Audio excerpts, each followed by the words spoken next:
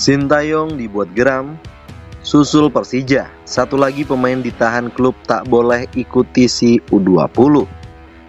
Namun sebelum lanjut bolehlah kalian untuk like, komen, dan subscribe. Kalau sudah, mari kita lanjut. Timnas Indonesia U20 sudah melakukan latihan sejak awal Februari 2023. Namun di tengah persiapannya, kembali lagi ada pemain yang masih ditahan oleh klubnya. Bila sebelumnya ada pemain Persija yang ditahan tak bisa ikut isi, kini Persib Bandung juga menahan salah satu pemainnya untuk bergabung. Pemain tersebut ialah Robi Darwis. Nama Robi Darwis menjadi salah satu dari 30 pemain yang dipanggil oleh Sintayong untuk membela timnas U20 Indonesia. Sintayong melakukan tisi jangka panjang untuk persiapan di Piala Asia U20 2023 dan Piala Dunia U20 2023. Namun hingga Minggu 5 Februari, Robi Darwis masih belum juga bergabung dengan timnas U20 Indonesia.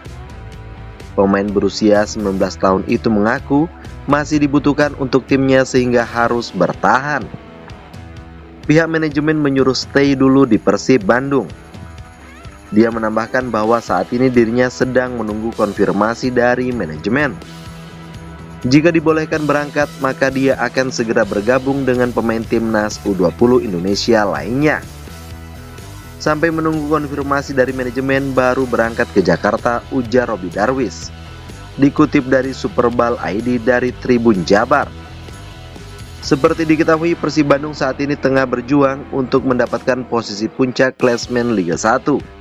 Di pekan ke-22, mereka akan bertemu PSS Sleman pada Minggu 15 Februari.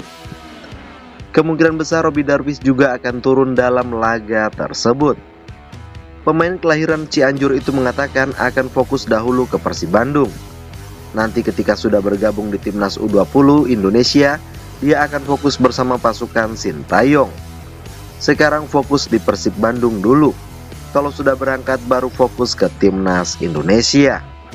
Tentunya kami tidak fokus pada kekuatan tim lawan, tapi kami fokus pada persiapan tim sendiri.